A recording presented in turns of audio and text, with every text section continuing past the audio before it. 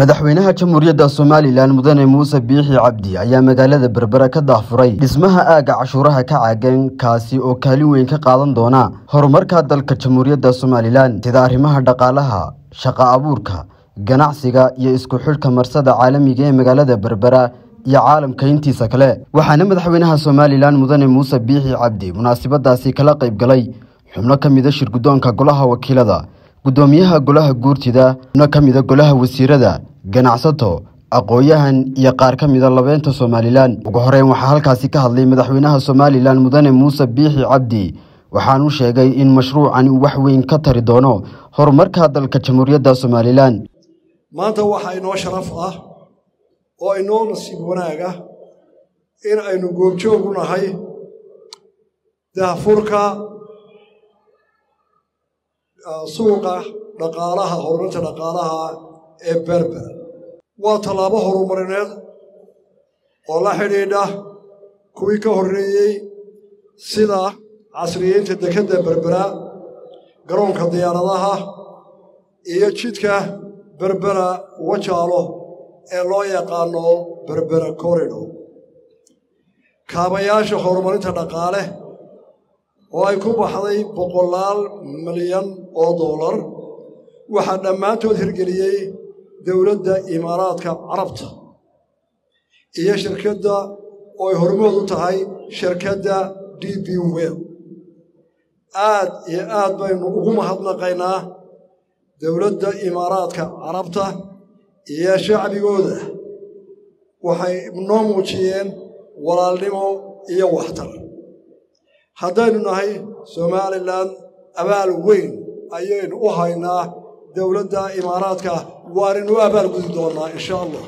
Dhismayaasha iyo kaabayaasha dhaqaale casriyeynta dekeddu waxa ku lifaaqan aqoon maamul iyo mid firsamo oo heer caalamiga ah oo ay dhaxli doonaan dhammaan dhallinyarada somalilan mustaqbalka dhow iyadoo haddaba ay muuqdaan ifafaanaha aqooneed iyo maamul ee ka socda howlaha dekedda iyo kaabayaasha dhaqaalaha. Mashaariicda laga hirgeliyey berbera.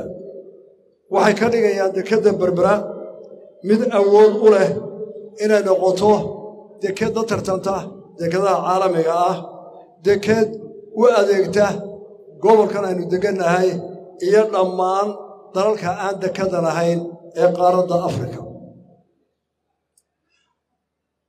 waa tallaabo taariikhi ah oo ay dowladdu u qaaday dhinaca hirgelinta qorshihii horumarinta qaranka ee loo yaqaano n d b n n d b laba iyo n d b saddex oo hadda la bilaabi doono fulintiisa. Daafurku suuqani wuxuu abuurayaa fursad ganacsi shaqa abuur kororsi aqoon farsamo iyo mid maamulba iyo isdhexgalka iyo waxwada qabsiga caalamka oo dhan.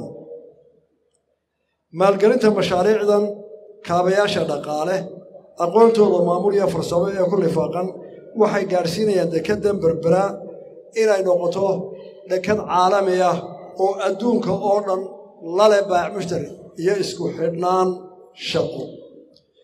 Waxaan soo dhowaynayaa cid kasta oo maalgashatay dekedda berbera iyo suuqa dhaqaalaha ee berbera iyo dalka somalilan guud ahaanba.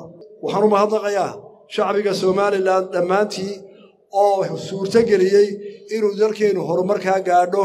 Waa awoodda shacbiga iyo rabitaanka inaynu dalkeennu hore u marino dhammaanteen. Waanaynu sii xoojinaynaa waxaan si gaara ugu mahadnaqayaa nabadda horumarka iyo quruxdaas waxay ku timid dhiigga geesiyaasha qaranka ee maalin walba naftooda u horaya si aynu u gaadho horumarka oo inaga mudan. Suldaan axmed bin suleymaan guddoomiyaha shirkadda d b wol ee laga leeyahay dalka imaaraadka carabta ayaa sheegay inuu ku faraxsan yahay soona dhoweynayo mashruuc kale oo muhiima kaasi oo wax weyn ka tari doona horumarka magaalada berbera iyo guud ahaan dalka somalilan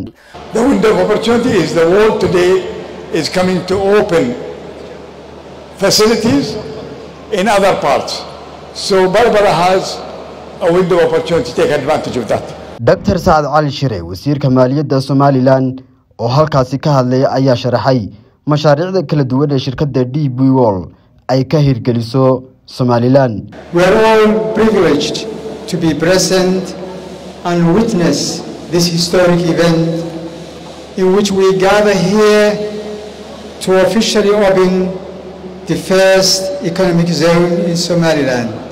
The Berbera Economic Zone.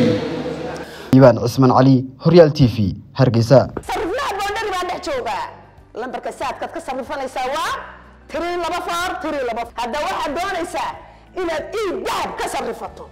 Nine tiri laba faar tiri faar nine. Ama booqa xarunta boodhari oo ku taalla waddada madaxtooyada waxaana dhinaca galbeed ay ka xigtaa wasaaradda xanaanada xoolaha